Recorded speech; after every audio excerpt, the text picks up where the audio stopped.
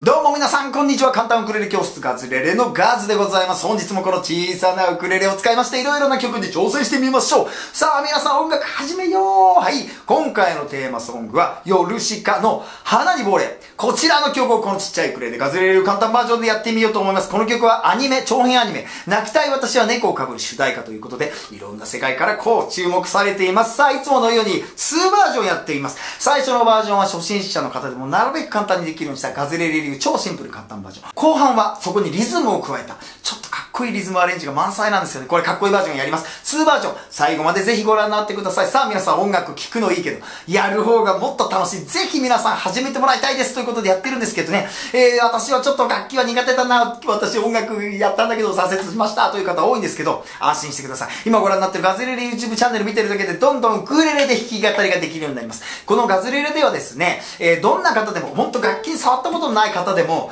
あれよあれよと、もうおじいちゃんでもキッズでもね、できるような、あの、プログラムがあってですね、動画見てるだけでどんどんできるようになるんですよ。しかも YouTube ですから無料ですからね。その動画を見てですね、今全世界の方がもう何万人もウクレレで音楽始めてます。皆さんもぜひ始めてください。もうちょっとしたらこのリンクあります。このリンク先に行ってもらって、上から順番に動画を見ながらウクレレ触ってるだけ。始めましょう。いってらっしゃい。クリックいってらっしゃい。そこには今までガズが取りに取りに取りためた、ありとあらゆる音楽ジャンルのレッスン動画、くれるレッスン動画が、すでに1200曲以上もアップロードされております。はい、どんなジャンルがあるか。最新 J-POP、定番 J-POP、昭和の集める歌謡曲、演歌、洋楽、ハワイアンソング、アニメソング、映画の曲、ボカの曲もたっぷりありますからね。もう音楽聴くからやるに変えていきましょう。さあ、早速やってみましょう。えー、花に亡霊、夜しか、ガズレレ流シンプル簡単バージョンやってみます。One, two, three,フォー。もう忘れてしまったかな。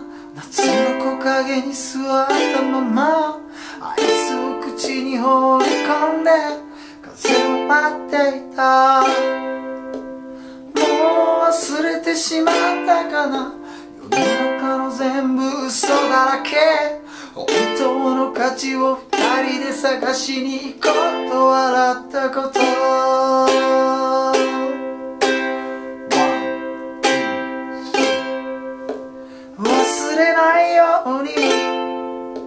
色あせないように。形に残るものが全てじゃないよね。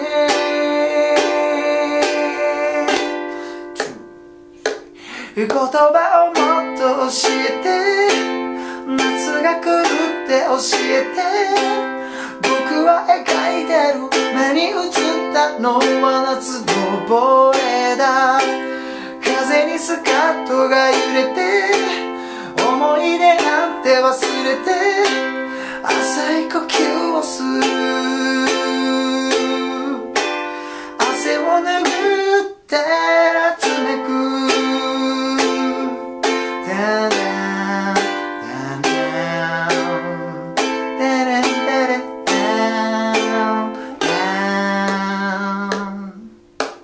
忘れないように色あせないように。心に響くものが全てじゃないから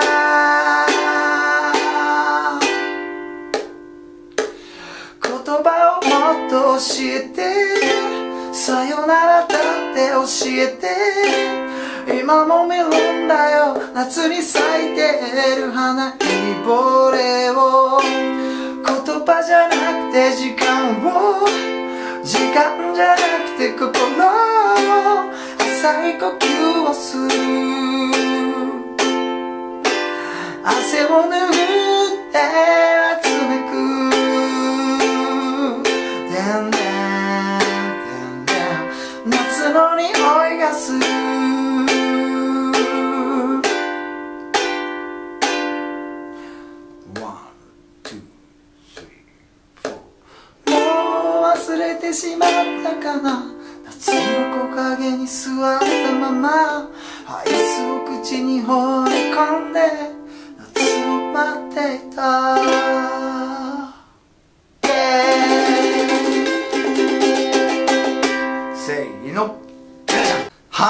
これガズレレ流シンプル簡単バージョンやってみました。やっぱこう夏キラキラした夏の景色が思い浮かぶあの歌詞の内容と、あとね、かっこいいバージョンでこのリズムも再現するんですけど、このシンプル簡単バージョンだけでもなんかこの、心のね、こう、動きがこう、リズムでね、伸ばしたり止めたりみたいなところがありますんでね。そんなところご注目ください。今のはもちろん、ガズレレ流、ショートカットバージョンです。フルコーラスでやりたい方、安心してください。コード進行は一緒ですので、2番とかの歌詞を書き足して、オリジナルの楽譜を自分で書いてください。そして今やったシンプル簡単バージョン、ガズレレの YouTube 動画で一緒になんとかできるようになった方、しばらく練習したら、それでもやっぱりご自身で紙に書いて、ご自身だけで、自分だけで演奏できるようにして、いずれは覚えちゃいたいですけどね。そういう風にやってみてください。その時の参考になるように、いつもガズのノートここで写して皆さん書き取ってくださいというふうにやってるんですけど、はい。今このグループ、ガズクラブがスタートしました。このガズクラブっていうのはですね、クラブ会費660円を毎月いただいて、ガズの最新アップロードのこの PDF、もう、もう本当に膨大な数のね、この楽譜のノートのデータがですね、皆さん毎月5曲ま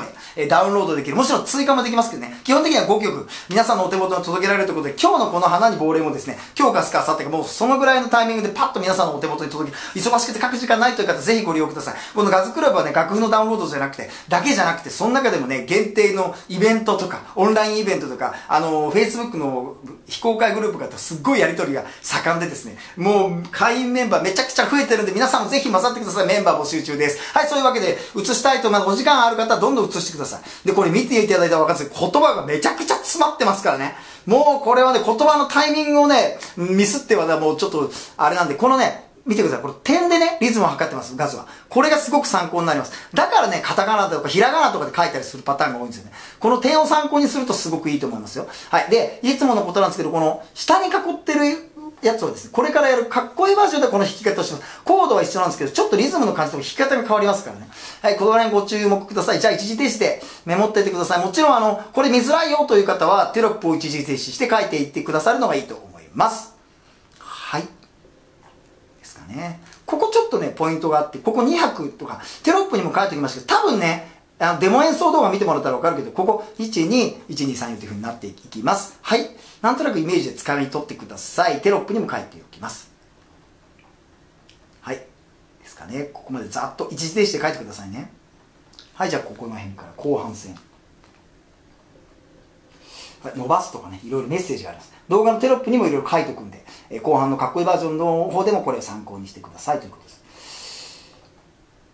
はい、じゃあどんどん行きましょう。コードの解説。今日ね、この曲、コード6個なんですよ。入門コード6個だけ。すごいですよね。この6個であの世界観出せるの言ってきます。C と a マイナーと F、d マイナー G7、e マイナー7のこの超入門コード6個でございます。これはね、ラッキーって感じです。このコードはね、入門コード、これストーン。ガズレレ必須コードのグループです。このガズレレ必須コードっていうのは一体何かということなんですけど、ウクレレで音楽を始めようと思った方に一番最初に覚えてもらいたいコードのグループです。コードっていうのは、こういうの、音の要素なんですけど、これはね、星の数ほどあるんですよ、本当は。とてもじゃないけど全部覚えられないし、覚える必要は、まずはないと思います。なんで、まず一番最初、この10個、なんとかこの10個覚えてもらいたい。そしたらね、今ご覧になってくださってるガゼレリ YouTube の曲、1200曲以上、ほぼ8割9割このコードで構成されてる超基本なんでね、お願いします。覚えてくださいということなんですけど、ね、10個もあるのしんどいわと思うかもしれないんですけど、1個ずつ見たら超簡単なんですよ。これも1個のコードだし、これも1個、これも1個、こういう感じでね、1個ずつは簡単なんだけど、さすがにね、10個いっぺんにパッとは覚えられないから頭ごちゃごちゃになっちゃうから、そこで私がめちゃくちゃわかりやすくて頭にスイスイ入っちゃう動画、夢のようないい動画をですね、自分で言っちゃいますけど、ここにリンク貼っておきます。この動画見たらね、さっさっさと覚えますから、楽しく覚えるのが秘訣です。親戚とかね。兄弟とか、そんな風に覚えてきます。はい。えー、覚えてください。その中の今日6個でやったということで、コード自体はすごく簡単。でもまあ、さっきも言ったけれども、歌のリズム感とか、あの、溜める感じとかですね、さささと歌う感じとか、えー、メロディーラインの高低差もすごくありますんで、歌は難しい。なんで、この4つ引きで、まず最初歌をしっかりマスターして、これからかっこいいバージョンに入っていきましょう。ということで、かっこいいバージョンの解説に入っていきます。ますかっこいいバージョンのリズムはですね、2つで一応やろうと思います。まず最初は、ガズペジオというリズムです。こんな感じで C で押さえて、ちょっとピアノっぽいイメージ。これガズレレではよく出てくる弾き方です。このガズペジオをベースに、えっと、前半はやってですね、前半とか、まあ曲も途中でそういうのが入ってくるね。あと、えっと、メインのあのサビのリズムみたいなのは、やっぱこれがいいな。16ビートのチャです。えー、サビっていうのは、言葉をもっと教えて、夏が来るって教えて、16ビートのチャーってスケールでっかくドーンという感じでいきたいんですけど、この曲はですね、8ビートのチャをゆったりやるのでも、バッチグーだと思います。8ビートでやるとこうなります。言葉をもっと教えて、夏が来るって教えてこんな感じです。8ビートでやると相当ゆっくりやらないとって感じですけど、ちょっと16ビート難しいなという方は8ビートっていうか、まあ8ビートでも1ブロック2個のやつなんで、じゃん、チャッカ、じゃん、チャッカという感じでもいいと思うんですけど、まあ今回ガズのデモ演奏は16ビートのチャということにさせていただこうと思います。そしてですね、一応この2つのガズペジオと、えー、16ビートのチャーのリズムがメインなんですけど、途中そこかしこにこのカッティングの要素が入ってくるんですよね。どこで出てくるまずいきなり最初、もう忘れてしまったかの歌い出しのところでこんな感じにしたいんですよ。もう忘れてしまったかな。夏の木陰に座って。ここね。ここな。右手でパッと止めるでもいいし左手で。今左手で。こうやって止めてるんですよ。なんでこうタントンパッタントンパッ。これがすごく印象的でしょ？これをねぜひやりたい。ガスペジオなんだけど止めていく。トントンタッタントン。止まるときに、右手でもいいんです、いいんですけど、やっぱ左手で本当こう、わかる？ピシッとこれで、左手触って、弦に触れて音を止めて、これをカッティングって言うんですけど、こういうのも出てくる一応カッティングも入れておきましょう。あと、決めとかね。これ、動画なんか見てもらうと、こういう決めが入ってくる。その時も一応カッティングちょっと応用してるんですよ。そんなこともあるんで、今日は一応ですね、メインは、ガズペジオと16ビートの茶だけれども、カッティングもちょっとここに入れさせてもらって、えー、このリズムで、えー、演奏してみたいと思います。このリズムの3つの弾き方の解説。ここのリンク行ってください。このリンク先は、ウクレレでできるリズムのいろいろというガズレレホームページの1枚で、その中からガズページを16ビートのチャー。で、ちょっと時間があって余裕がある人はカッティングを見て、そのカッティングの感じを掴んでください。えーでですね、ガズペジオは結構簡単に弾けるは弾ける。だけどやっぱりね、これね、前半の止めながらね、もう忘れてしまったかな。このタイミング合わせてこのしっかりリズムをキープしながらやってるのは結構難しいんで、これカッティングも応用されてるしということで。で、あとやっぱサビサビになって、言葉をもっと教えて、このね、サビのでっかい16ビートのチャは、バラードでやる16ビートのチャってちょっと難しいんですよね。ガチャガチャ忙しくない感じ、どっしりした、スケールでっかい感じでやりたい16ビートのチャでございます。で、この16ビートのチャっていうのは実はすごく難しいリズムで、まずね、ストストロークって言うんですけど、これの基本になる、8ビートっていうのが基本になります。8ビートができるようになったら8ビートのチャ。その次16ビート、16ビート、チャというふうにだんだんだんだん上がってくる一番最高峰のレベルなんですけど、さっきもちょっと言いましたけど、8ビートのチャでもいいと思いますよ。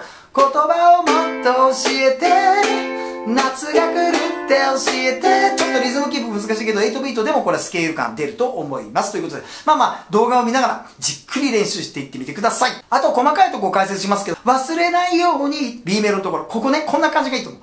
忘れないように、トロッ、トロッ、これはですね、止めるんだよね。つまり、えテロップで書くとこういう感じにしました。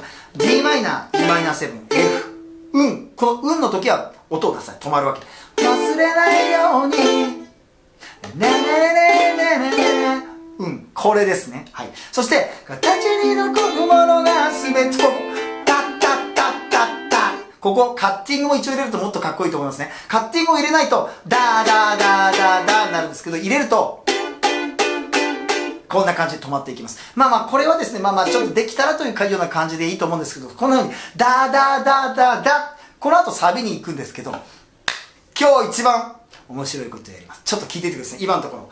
忘れないように、色あせないように、形に残るものが全て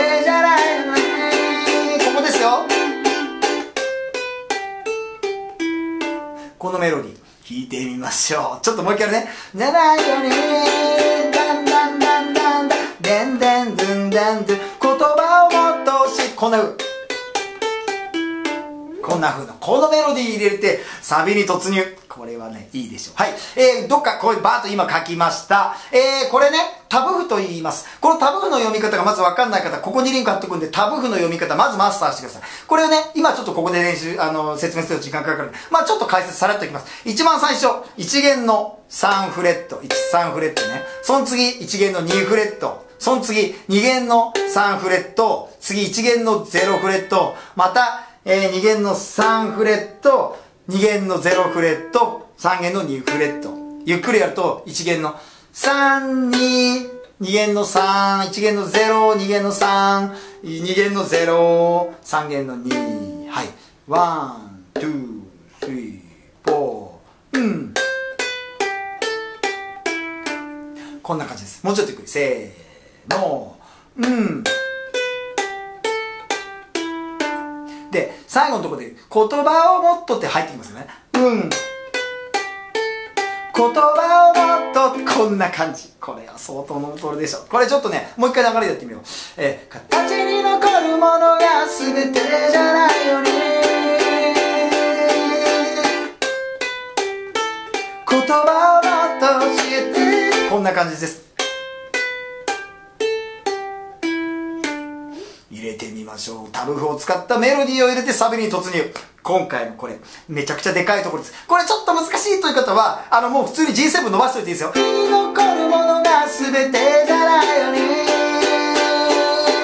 ワン、ツー、スリー。言葉をもっとでこんな感じでいいと思うんですけどできる方これ結構印象的だなと思って入れ込んでみましたそしたら他にはね、まあ、さ今みたいな感じでテロップでタタタタタとかいうところがあるんで、それをの動画でちょっとこうキャッチしていただきながら、最後のエンディング、また一番最初の、えっ、ー、と、もう忘れてしまったかのフレーズに戻るんですけど、そこはまたちょっと切ない感じでね、力を弱めるみたいな。もう忘れてしまったから、この、さっとこう、力を緩める、緩めて最後こう、エンディング迎えるという感じが渋いかなというふうに、そういうロマンティックっていうか、こうね、抑揚をつけて、おお曲の中でこう、なんていうかな、盛り上がるところとこう、すごい弾くところをね、このね、高低差がすごくまたロマンティックになると思うんで、えー、そんなこともちょっと意識して、あと歌詞の中身、これはね、なんか夏の、ほんと熱い感じの、なんていう青春？そういう映像を思い浮かべましたね。プロモーションビデオもね、すごくその、アニメの映像がすごく印象深いんで、ぜひご覧になってください。そのね、イメージを共有してやるとまた楽しいと思います。それでは行ってみましょう。夜しか花に亡霊がずれるかっこいいバージョンやってみるワン、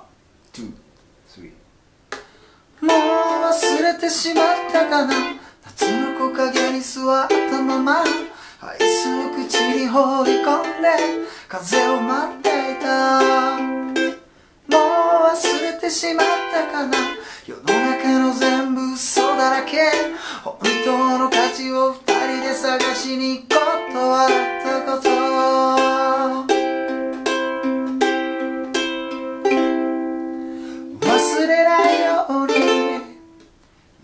せないように。形に残るものが全てじゃないよね。言葉をもっと教えて夏が来るって教えて僕は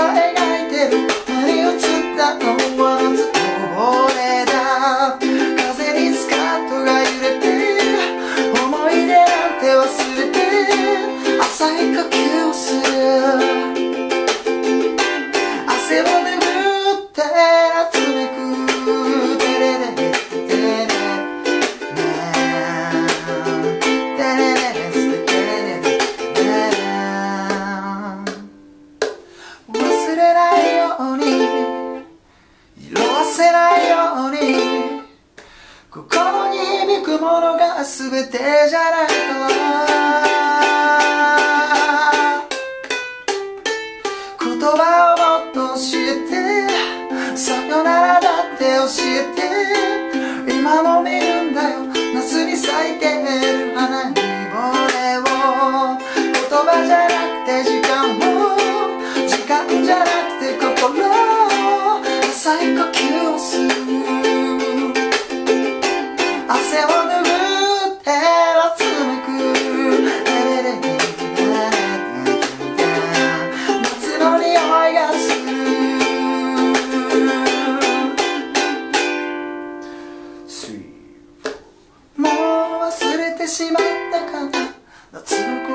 に座ったままアイスを口に放り込んで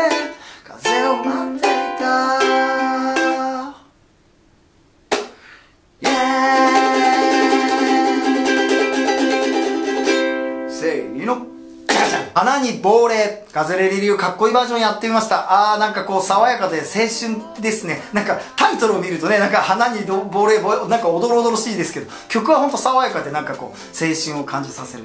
キュンとする。その気分もやっぱこうグッと掴んで。でねやっぱりこのさっきも言いましたけど強く押すところと引くところこのねコントラストとかえあの歌のメロディーラインもすごく上がるとどころ下がるところとかあるんでその辺のこのいろんな要素がこう一個にクッとまとめられるとまたなんかねこう気持ちよくなるんじゃないじゃないかなと思います。皆さん大いに歌っていきましょう。さあ皆さん音楽ウクレレやってるとめっちゃ楽しくないですか？僕もね、ほんと楽しいんでね、これを本当にみんなに体験したいと思って、体験していただきたいと思ってるんですけど、皆さんの周りでもどんどん広げてくださいね。お隣さん、えー、同僚の方、ご近所さんか、ご家族、ぜひご活用ください。このガズレレ YouTube チャンネルもご活用ください。はい。えー、チャンネルにね、これいいねとかね、あの、チャンネル登録なんかもぜひお願いいたします。えー、それでは最新情報なんですけど、えー、この赤い本がリリースされまして皆さん楽しんでいるということでものすごい情報が入ってきてます。これよかったら Amazon のレビューとかね、いろいろレビュー書けるんで、よかったよとか書いてもらえると嬉しいです。これはね、100曲入ってますんでね、もう皆さんこれ Amazon とかで、本屋さんとか楽器屋さんとかで、ぜひぜひゲットしてください。ありがとうございます。そしてこの今使ってるガッツのウクレレ、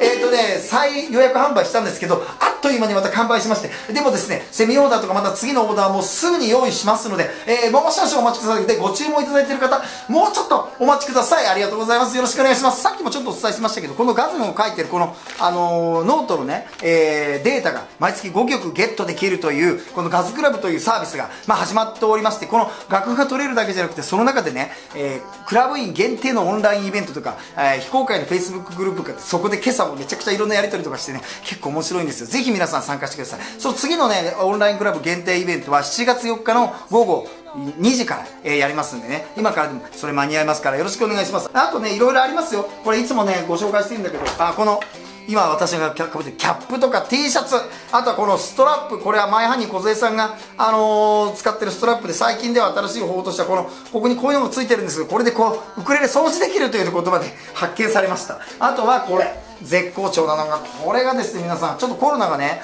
開けてきたんでこのリュックサックを持ってここコンサートウクレレが入るウクレレケースです。ここにガズレレのプリントがあってこれ中も結構広くて楽器用の分厚い仕上げになっております。これ中もねちゃんと傷がつかないようになってて。で中にポーチが2つ入ってて譜面台とかチューナーも入るポーチがあってこれマジックテープでもう脱着可能スペースもこう流行利用できます。そしてこれでっかい旅行カバーにもなりますんでね。ぜひ皆さんよろしくお願いします。あとはガズレシピ。